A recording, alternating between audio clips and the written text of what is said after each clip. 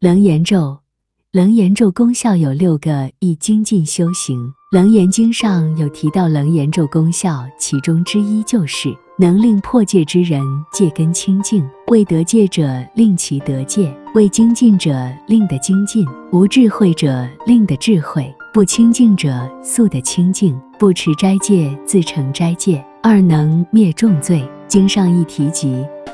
众破戒罪无问轻重，一时消灭。纵经饮酒，食啖五心，种种不敬，一切诸佛菩萨、金刚天仙鬼神不将为过。设着不敬破壁衣服，一行一柱，悉同清净。纵不坐坛，不入道场，不行道，诵持此咒，还同入坛行道功德。若造忤逆无间重罪，及诸比丘、比丘尼四气八气，诵此咒以如是众业，犹如猛风吹散沙巨溪，皆灭除，更无毫发。也就是说，无论轻重戒罪，在诵读楞严咒之后，皆可消灭三物无生忍，从无量无数劫来所有一切轻重罪障，从前世来未及忏悔。若能读诵书写此咒，身上带持，若安住处庄宅园馆。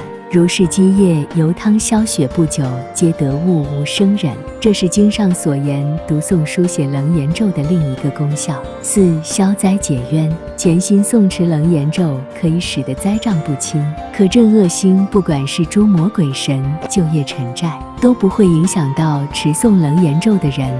五与佛相伴，经常读诵书写携带楞严咒者，十方如来的所有功德。都会回向给你，因此这群修行者常与诸佛于同一处，因此可得大功德六，远离毒害。楞严经上有提到，火不能烧水，不能逆大毒小毒所不能害。如是乃至龙天鬼神、惊奇魔魅，所有恶咒皆不能住，心得正受。也就是说，把楞严咒随身携带的话，是可以远离毒害，不被水火毒物恶咒所伤。